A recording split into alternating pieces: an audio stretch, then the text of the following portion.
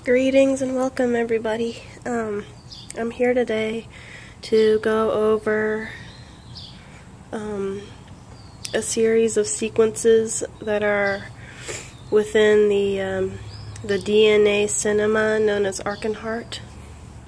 Um, I also wanted to say that you could also look at this as a guide for star seeds um, all across the world.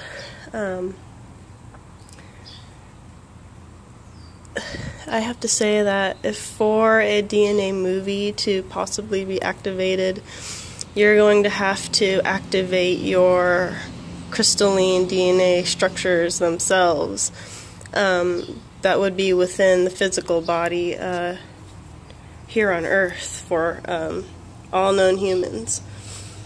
So, um, just to say again, this is a DNA cinema that is um, withfolding or playing within the DNA, the crystalline DNA structure that you could possibly activate. And it is a starseed constellation guide.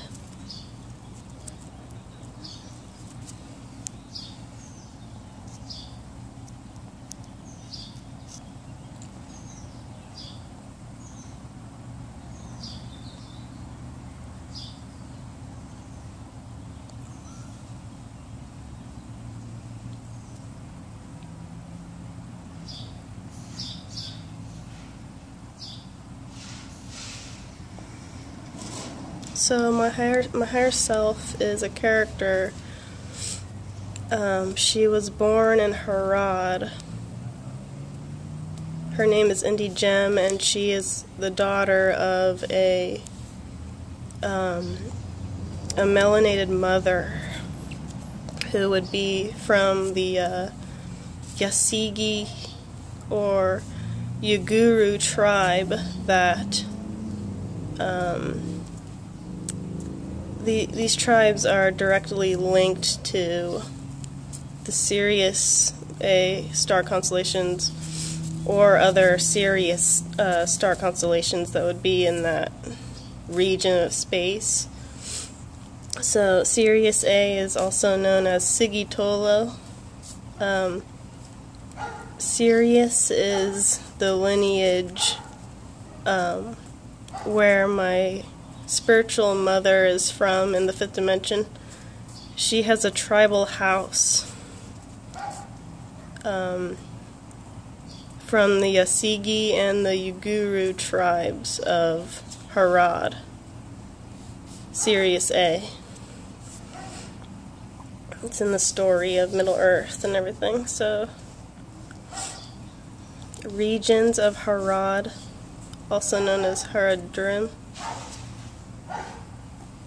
Haruz, Sarani, Belakaz, Urdwan, Usakani, and Muma Kandram. These are all these regions are all in uh, Harad of, of Middle Earth.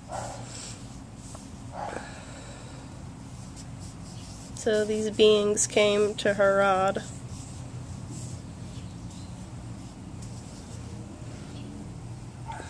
and Harad is where my father has to go to unlock certain light codes that my mother has left in the fifth and fourth dimensions. So this this this information could all be linked to your DNA if you let the source of, from the stars come and activate your co the codes for you. Okay, so if this video goes out, I'm going to make a part two. Um, but to finish this one off, um, the Usakani and the Mumakanrim were wise, ancient, melanated tribal beings who have adapted to the lower parts, the lower regions of Harad and have made many pyramids um, in Harad, the the desert region that's unknown to it's still it's still a region. It's still um, a star region to be explored by the other constellations that are in the DNA movie cinema that you that you have to create for yourself as as your higher self. So that's that's very key. That's very important. Um, Muma are um, it's a region known to having uh, melanin sand or dark sand because the Muma Conrim were the they were the darkest uh, melanated people uh, down here in Harad, the, those regions. Okay, so I think part two is going to be about Altair, um, where where the eagles are from in the movie. And um, this this goes over um, the battle the battles that, that, that could be happening in the, in the movie right now, but um, in this region of Altair, uh, the Gundabad Do- Dornorns, they are um, they have they have the ancient teach- teachings from the uh, tribal peoples, and they're going to these different regions. Um,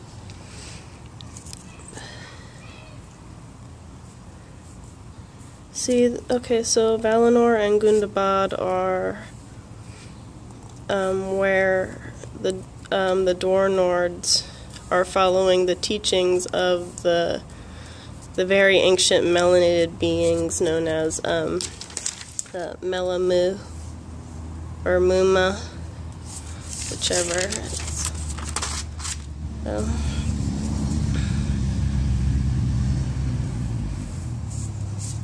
They they have the ancient teachings already, and and then they're going to go and battle for Gundabad because it's overrun by orcs right now. So the beings from Altair are coming to Gundabad to fight the orcs um, in these regions. It is also where the eagles, the great eagles, where they come from as well and I'll, I'll go over more about Gundabad in, in the next video. So, thank you for watching and listening. Stay tuned, you guys.